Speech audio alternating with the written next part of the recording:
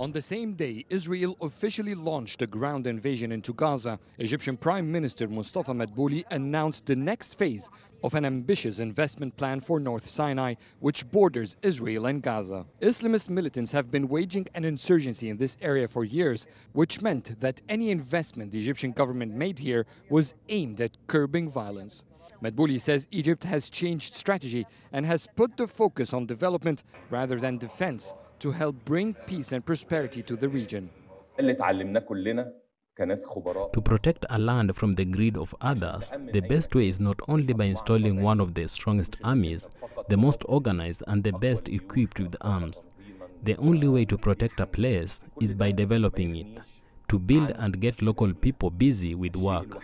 So no one will dare to think or dream that this place is to fulfill their greedy desires.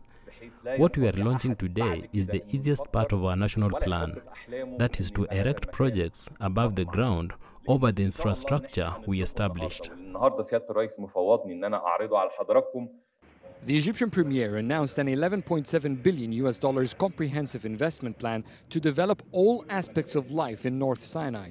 The government says it will build a railroad to connect trade from the Gulf of Aqaba and the Red Sea to here in Al Arish city on the Mediterranean, where the construction of a massive trade port is underway.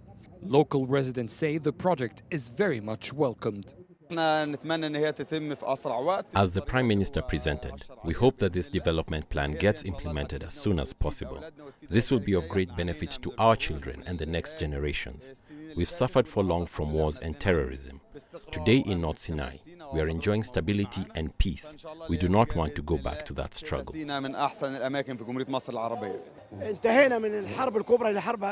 We have won one war against terrorists. Today we join hands with the state and the military to build together these projects. It's an honor to see an excellent plan like that get implemented here. We are happy with the trust the government is putting in us and we vow to push forward these projects with all our might. About 2,000 kilometers of road are set to be paved in the plan to develop Sinai. From schools to universities, water desalination facilities, and factories, Egypt wants to establish complete touristic and industrial complexes. On top of that, the government also wants to cultivate more than 370,000 acres of agricultural land. The ambitious plan the Prime Minister announced is the second stage of a national development program President El Sisi launched in 2014. During the past 10 years, Egypt invested some 9 billion US dollars in infrastructure in this region.